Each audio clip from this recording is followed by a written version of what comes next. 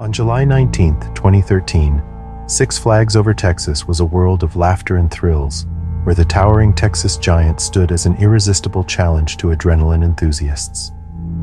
For 52-year-old Dallas resident Rosa Esparza, it promised a day of joy and bonding with her family. But as the Texas giant began its climb, that promise transformed into a nightmare. A scream far from joyful pierced the air, and her daughter turned to see a sight that would haunt her forever her mother's feet in the air, panic in her eyes, and a cry for help that went unanswered.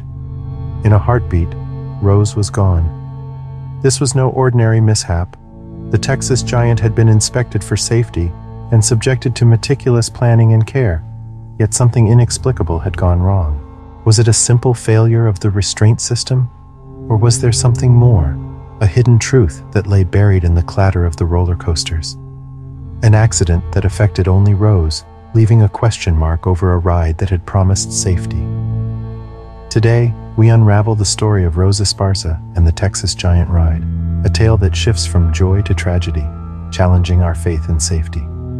The Six Flags Over Texas amusement park has always been a place where people go to have fun and feel the rush of excitement. Opening its doors on August 1, 1961, this park quickly became a favorite destination for both adventure seekers and families. Covering over 200 acres, it has a wide variety of exciting rides, shows, and attractions. Among the rides, the Texas Giant stood out. This roller coaster was no ordinary ride, it was something special. When it first opened in 1990, it was the tallest wooden roller coaster in the world, attracting people from all over. But the original wooden tracks started to show their age, and the ride needed a fresh touch. So in 2010, the park decided to give the Texas Giant a makeover. They replaced the old wooden tracks with smooth steel ones and added brand new trains, designed with safety in mind. This new Texas Giant opened to the public in 2011 with a more exciting layout and improved riding experience. But what made the new Texas Giant different was its combination of wood and steel. This hybrid design was the result of a $10 million makeover, and people loved the new and improved ride. It had wild turns, including the steepest drop of any wooden coaster at 79 degrees. The excitement of the Texas Giant had been reborn. Sadly, the ride that brought so much joy to people also became the scene of a tragedy. On a typical summer evening on July 19, 2013, the park was buzzing with excitement. Little did anyone know that the evening would take a tragic turn.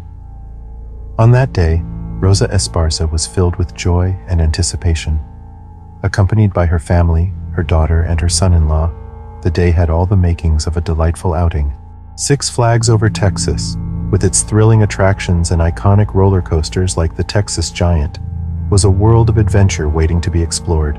In the joyful anticipation of the day's adventure, Rosa's daughter and son-in-law joined her. They were all eager to partake in the fun that Six Flags was renowned for, especially with Rosa being a grandmother in waiting. The impending arrival of a new grandchild only added to the family's excitement and gave them all the more reason to celebrate. Rosa was the kind of woman people naturally gravitated toward. Warm, nurturing, and with an infectious laugh that could light up a room, she was a mother, a wife, and a friend to many. Her love for her family was paramount, and she embraced life with an energy that was truly inspiring. She was a woman who believed in the importance of family bonds cherishing every moment spent with her loved ones.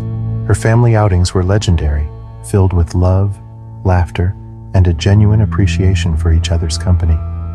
The trip to Six Flags was meant to be another of those joyous family gatherings, and the Texas Giant Ride was to be the highlight of their day. That evening, as visitors flocked to the park, the ride stood tall, drawing Rosa and her family toward the promise of a great experience. While there was excitement in the air, Rosa, being a larger lady, had some concerns about fitting into the ride. Nevertheless, she was determined to share this experience with her family, fully trusting in the safety measures the park had always emphasized. After all, the new Texas Giant was no ordinary roller coaster. It had undergone extensive renovations with smooth steel tracks and brand new trains designed specifically with safety in mind. Even the T-bar style restraints and lap bars with shin guards were meticulously designed to ensure secure restraints. The wait in line for the Texas Giant was filled with a buzz of anticipation. Laughter and chatter filled the air as riders prepared for what they expected to be the ride of a lifetime. Families, thrill seekers, and friends all joined together in a shared excitement, ready for the adrenaline pumping experience the ride had to offer. The sights and sounds of the amusement park were all around, and the distant roar of the Texas Giant filled the ears of those waiting. Once aboard, the experience of the new Texas Giant was breathtaking. The wind in your face, the heart pounding sensation as the coaster climbed, and the thrill of the steep descent, the twists, the turns, the speed. It was a beautiful experience that left riders with wide smiles and a rush of excitement. But on that tragic day, the ride that promised so much joy would turn into a nightmare for one family. As the coaster began its ascent on that fateful evening, Rosa, seated in the third row, was filled with both excitement and fear. Excitement that she's with her family on the ride and set to experience premium joy and laughter. Fear on her part that she may fall, considering her doubts with the seat restraints. Her daughter and son in law, sitting ahead of her, were eager to share this thrilling experience. Everything seemed normal as the ride left the station. The restraints appeared secure, and the atmosphere was one of pure joy. But something went horribly wrong. As the Texas Giant reached the steep descent from the first large hill of the track, the unimaginable happened. Rosa was thrown from her seat. She fell 75 feet, higher than a seven story building, and struck a support metal beam. Her body then came to rest on the metal roof of a tunnel. Her daughter, hearing her mother's screams, turned in horror to see a sight that would haunt her forever. She had seen her mother attempting to hold on for dear life. The family behind Rosa later recounted how the seat restraint seemed to go down normally before the car left. But when the train came back, the seat restraint was down and Rosa was gone. The terror in the daughter's voice as she screamed, We need to go get my mom, sent chills through everyone nearby. Witnesses, including those in line for the ride, were in shock. Some riders were crying as they returned to the station, knowing that something had gone horribly wrong. The park, once filled with laughter and joy, was now filled with confusion and fear. The Arlington Fire Department arrived on the scene, and a funeral home vehicle was seen taking Rosa's body away later in the evening. Although it took a long time for them to find her body, people who were there that day, like other park visitors, were left in shock and disbelief. Witnesses like Casey Crow, who were either on the train in front of or behind where Rosa had fallen, were overwhelmed by the sight of emergency responders rushing to the scene.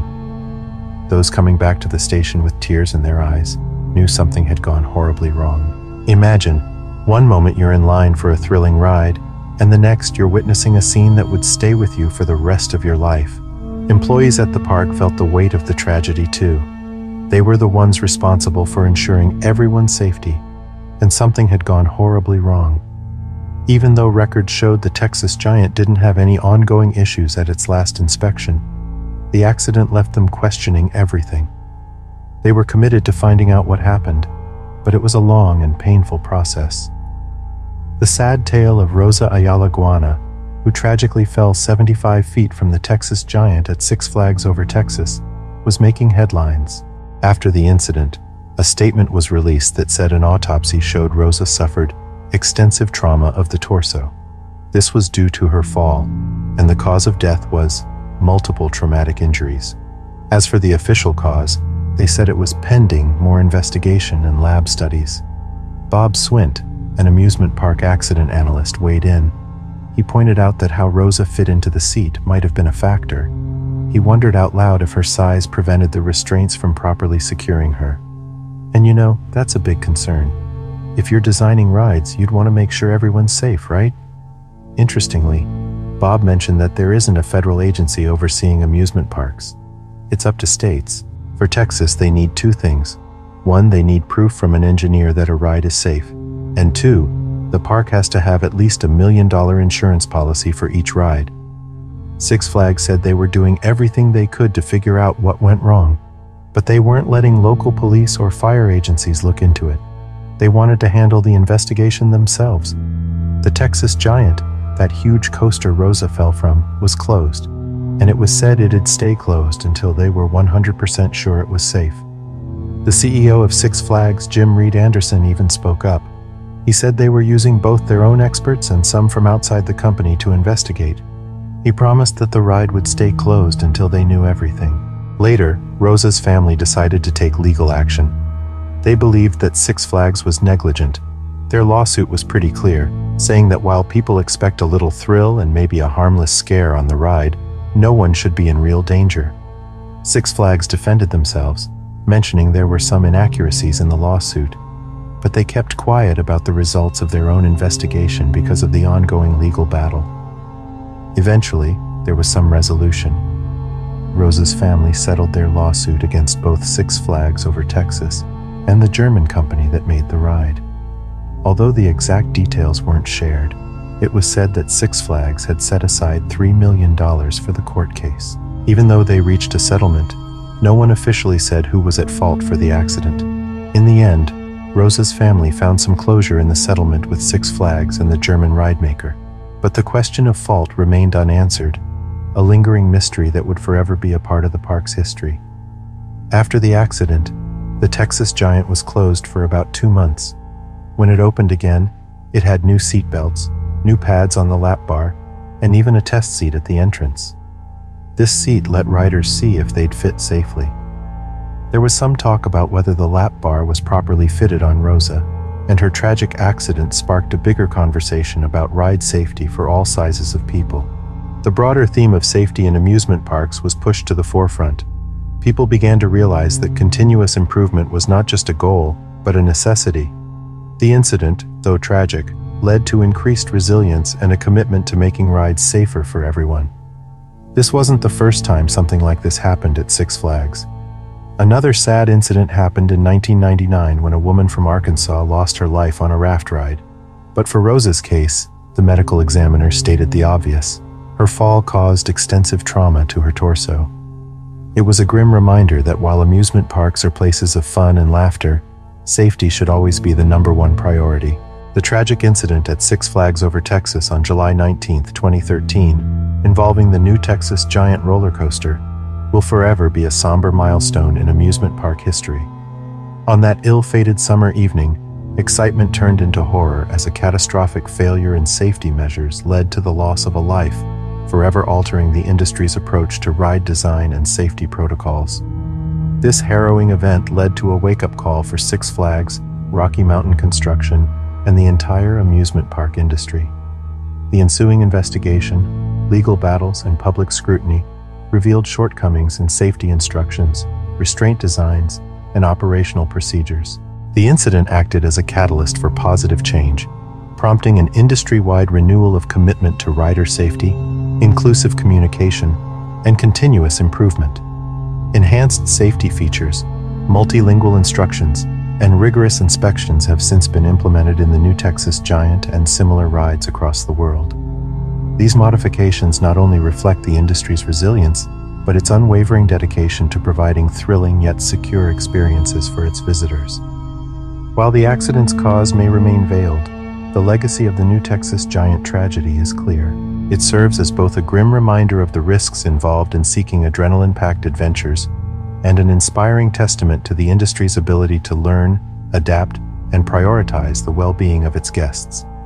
The story of the new Texas giant transcends a mere accident report, evolving into a compelling narrative about human error, technological innovation, legal complexities, and the relentless pursuit of safety.